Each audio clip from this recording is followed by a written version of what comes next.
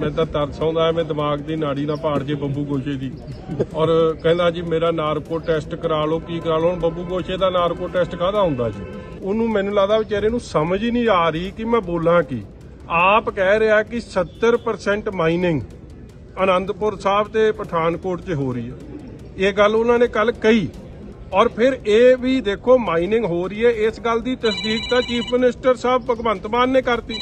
ਪਹਿਲਾਂ ਇਹਦਾ ਬੈਂਸ ਦਾ ਪੋਰਟਫੋਲੀਓ ਵਾਪਸ ਲਿਆ ਔਰ ਉਸ ਤੋਂ ਬਾਅਦ ਹੁਣ ਮੀਥੇਰ ਦੀ ਬਦਲੀ ਕਰਤੀ। ਜੇ ਇਹਨਾਂ ਦੇ ਕੰਮ ਚੰਗਾ ਸੀ, ਜੇ ਇਹ ਚੋਰੀ ਨੂੰ ਰੋਕ ਰਹੇ ਸੀ, ਜੇ ਚੋਰਾਂ ਨਾਲ ਨਹੀਂ ਰਲੇ ਸੀ, ਤੇ ਫਿਰ ਇਹਨਾਂ ਦੇ ਮਹਿਕਮੇ ਬਦਲਣ ਦੀ ਲੋੜ ਕਿਉਂ ਪੈ ਗਈ ਸੀ? ਕੱਲ ਕਹਿੰਦਾ ਜੀ ਮਜੀਠੀਆ ਨੇ ਇੱਕ ਬਲੈਕਮੇਲਰ ਵਕੀਲ ਨਾਲ ਬਹਿ ਕੇ ਕੀਤੀ। ਤੇ ਭਾਈ, ਤੈਨੂੰ ਚੇਤੇ ਹੁਣੀ ਆਇਆ ਕਿ ਉਹ ਬਲੈਕਮੇਲਰ ਸੀ? ਤੇ ਜੇ ਉਹ ਬਲੈਕਮੇਲ ਤੈਨੂੰ ਕਰਦਾ ਤੇ ਪਰਚਾ ਕਿਉਂ ਨਹੀਂ ਦਿੰਦਾ? ਸਰਕਾਰ ਤੇਰੀ ਮੰਤਰੀ, ਤੂੰ ਤੈਨੂੰ ਕੌਣ ਰੋਕਦਾ?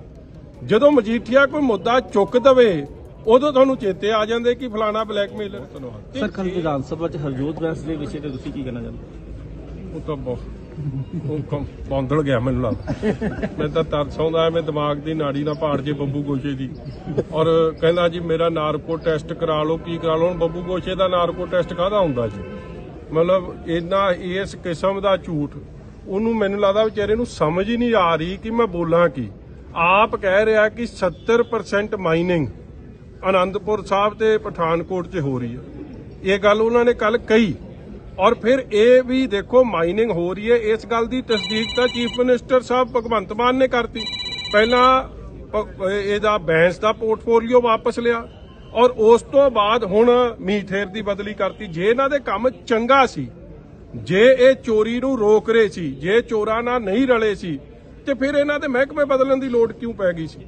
ਇਹਨਾਂ ਦੇ ਮਹਿਕਮੇ ਬਦਲੀ ਇਸ ਲਈ ਗਏ ਆ ਕਿਉਂਕਿ ਇਹ ਮਾਈਨਿੰਗ ਮਾਫੀਆ ਨਾਲ ਰਲ ਕੇ ਬਹੁਤ ਵੱਡਾ ਨੁਕਸਾਨ ਪੰਜਾਬ ਦਾ এনवायरमेंट ਦਾ, ਪੰਜਾਬ ਦੇ ਖਜ਼ਾਨੇ ਦਾ ਕਰ ਰਹੇ ਸੀ ਔਰ ਇਹੀ ਕਾਰਨ ਬਣਿਆ ਕਿ ਜਿਹੜਾ ਕੇਜਰੀਵਾਲ ਸਾਹਿਬ ਕਹਿੰਦੇ ਸੀ 20000 ਕਰੋੜ ਇਸ ਮਾਈਨਿੰਗ ਚੋਂ ਆਉਣਾ, ਕਿੱਥੇ ਗਿਆ ਉਹ 20000 ਕਰੋੜ? ਔਰ ਜਿਨ੍ਹਾਂ ਦੇ ਨਾਲ ਇਹ ਸਾਂਝ ਦੀ ਗੱਲ ਕਰਦੇ ਕੱਲ ਕਹਿੰਦਾ ਜੀ ਮਜੀਠੀਆ ਨੇ ਇੱਕ ਬਲੈਕਮੇਲਰ ਵਕੀਲ ਨਾਲ ਬਹਿ ਕੇ ਕੀਤੀ ਤੇ ਭਾਈ ਤੈਨੂੰ ਚੇਤੇ ਹੋਣੀ ਆਇਆ ਕਿ ਉਹ ਬਲੈਕਮੇਲਰ ਸੀ? ਤੇ ਜੇ ਉਹ ਬਲੈਕਮੇਲ ਤੈਨੂੰ ਕਰਦਾ ਤੇ ਪਰਚਾ ਕਿਉਂ ਨਹੀਂ ਦਿੰਦਾ? ਸਰਕਾਰ ਤੇਰੀ ਮੰਤਰੀ, ਤੂੰ ਤੈਨੂੰ ਕੌਣ ਰੋਕਦਾ? ਜਦੋਂ ਮਜੀਠੀਆ ਕੋਈ ਮੁੱਦਾ ਚੁੱਕ ਦਵੇ, ਉਦੋਂ ਤੁਹਾਨੂੰ ਚੇਤੇ ਆ ਜਾਂਦੇ ਕਿ ਫਲਾਣਾ ਬਲੈਕਮੇਲਰ। ਤੇ ਜੇ, ਔਰ ਕਮਾਲ ਦੀ ਗੱਲ, ਅਗਲੀ ਗੱਲ ਕੀ ਕਹੀ? ਕਹਿੰਦਾ ਜੀ, ਰਕੇਸ਼ ਚੌਧਰੀ ਤੋਂ ਲੱਖ ਰੁਪਈਆ ਲਿਆ ਤੇ ਕਹਿੰਦਾ ਮਾਈਨਿੰਗ ਚਲਾ ਦਿਓ। ਤੇ ਮਾਈਨਿੰਗ ਮਿਨਿਸਟਰ ਤਾਂ ਭਾਉ ਤੂੰ ਸੀ। ਉਹਦੇ ਵਕੀਲ ਕੋਲ, ਵਿਚਾਰੇ ਕੋਲ ਕਿਹੜੀ ਤਾਕਤ ਸੀ?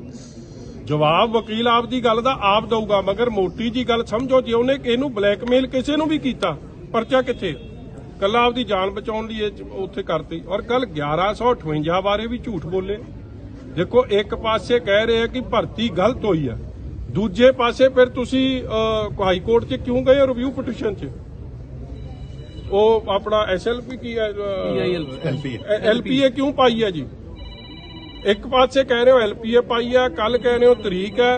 ਅਸਲ 'ਚ 1158 ਪ੍ਰਤੀ ਪ੍ਰੋਫੈਸਰ ਬਲਜਿੰਦਰ ਕੌਰ ਨੇ ਜਿਹੜੀ ਆਪ ਦੀ ਇਹ ਸੁਸਾਈਡ ਕੀਤਾ, ਉਹਦੇ 'ਚ ਸਿੱਧੇ ਤੇ ਸਿੱਧੇ ਤੌਰ ਤੇ ਜ਼ਿੰਮੇਵਾਰ ਹਰਜੋਤ ਬੈਂਸ ਨੂੰ ਇਸ ਲਈ ਠਹਿਰਾਇਆ 100 200 ਵਾਰੀ ਕੀ, ਹਜ਼ਾਰ ਵਾਰੀ ਉੱਥੋਂ ਟੱਪੇ ਆ ਧਰਨੇ ਤੋਂ। ਕਦੇ ਉਹਨਾਂ ਨਾਲ ਪਰਿਵਾਰ ਨਾਲ ਜਾ ਕੇ ਉਹਨਾਂ ਦੀ ਬਾਹ ਫੜਨ ਦੀ ਗੱਲ ਨਹੀਂ ਕੀਤੀ। ਔਰ ਕੱਲ ਵੀ ਝੂਠ ਬੋਲੀ ਗਏ। ਇਸ ਲਈ ਇਹ ਮਾਈਨਿੰਗ ਮਾਫੀਆ ਦਾ ਕਿੰਗ ਹਰਜੋਤ ਬੈਂਸ ਔਰ ਮੈਂ ਅੱਜ ਵੀ ਟਵੀਟ ਸਾਂਝੀ ਕੀਤੀ ਹੈ ਕਿ ਇਹਦਾ ਹੁਣ ਕਹਿੰਦਾ ਡੀ ਸਾਡਾ ਪਤਾ ਨਹੀਂ ਡੀਐਨਏ ਟੈਸਟ ਕਰਾ ਲਓ, ਕਾਹਦਾ ਕਰਾ ਲਓ, ਹੁਣ ਭਾਈ ਤੁਹਾਡਾ ਤੱਕ ਦੱਸੋ ਕੋਈ ਸ਼ਰਮ ਹੀ ਕਰ ਲਵੇ। ਸੋਹਣ ਸਿੰਘ ਹੋਰਾਂ ਦਾ ਆਪਦੇ ਡੈਡੀ ਦਾ ਹੀ ਟੈਸਟ ਮੰਗੀ ਜਾਂਦਾ। ਭਾਈ ਅਸੀਂ ਨਹੀਂ ਕੋਈ ਕਰਾਉਣਾ ਟੈਸਟ ਟੁਸਟ ਆਪੇ ਤੂੰ ਦੱਸਦਾ ਫਰੀ ਤੇਰੇ ਸਾਰੇ ਟੈਸਟ ਹੋਣ ਲੱਗੇ ਜਿਸ ਜਿਸ ਮੰਤਰੀ ਦਾ, ਵਕੀਲ ਦਾ ਲਾਇਸੈਂਸ ਇੱਕ ਵਾਰੀ ਰੱਦ ਹੋ ਗਿਆ ਹੋਵੇ। ਉਹ ਤਾਂ ਇਹਨਾਂ ਦੀ ਸਰਕਾਰ ਆ ਗਈ ਤੇ ਉਹਦਾ ਲਾਇਸੈਂਸ ਬਹਾਲ ਹੋ ਗਿਆ। ਰੱਦ ਕਰਾਉਣ ਵਾਲਾ ਵੀ ਇੱਕ ਕਲਾਇੰਟ ਸੀ ਜਿਹਨੇ ਸ਼ਿਕਾਇਤ ਕੀਤੀ ਕਿ ਇਹਨੇ ਮੇਰੇ ਤੋਂ ਪੈਸੇ ਲੈ ਲਏ ਤੇ ਮੇਰਾ ਕੇਸ ਨਹੀਂ ਦਰਜ ਕੀਤਾ। 420 ਦੇ ਪਰਚੇ ਇਹਨਾਂ ਤੇ ਦਰਜ ਇਹਨਾਂ ਦੀ ਕਿਹੜੀ ਗੱਲ ਦਾ ਭਰੋਸਾ ਕਰੋਗੇ?